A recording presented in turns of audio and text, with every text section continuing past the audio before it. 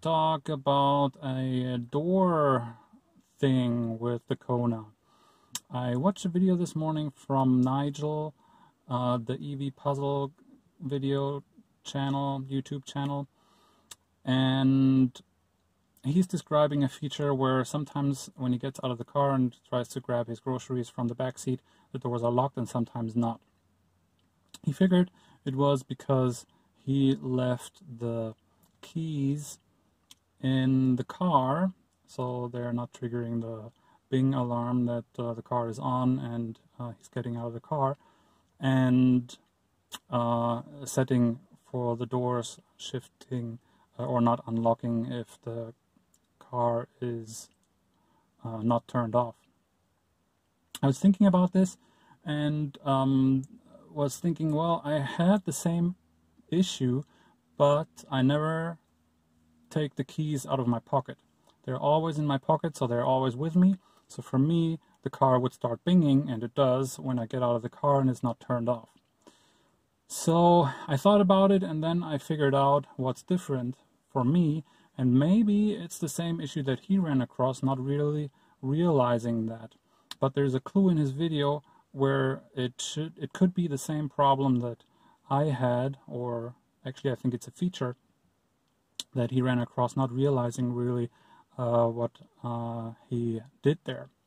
So let's uh, get out of the car and uh, see what the door is doing. So first of all, we're simulating a drive. We don't really have to drive I'm just turning on the car, shift into drive, and then uh, we go back into park, turn the car off, and now we go outside and see the door is doing. And we see the door is unlocked. Absolutely no problem. go back into the car and uh, turn it back on.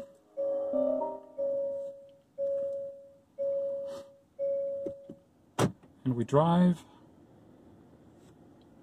Now we uh, turn the car off. We're done driving. We get out. The door is locked. So let's see. Go back in the car and figure out why it's doing this.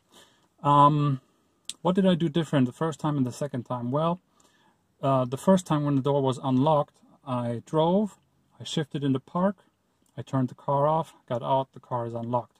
The second time I drove, I did not shift into park, I just turned it off. The car shifted itself into park, but the doors stay locked. The difference is that the setting in the menu and uh, I will show you guys that setting here. Uh, the setting in the menu is that um, Nigel actually showed as well is in door settings, door unlock uh, on shift on P. Since you are not shifting into P, the doors will not unlock.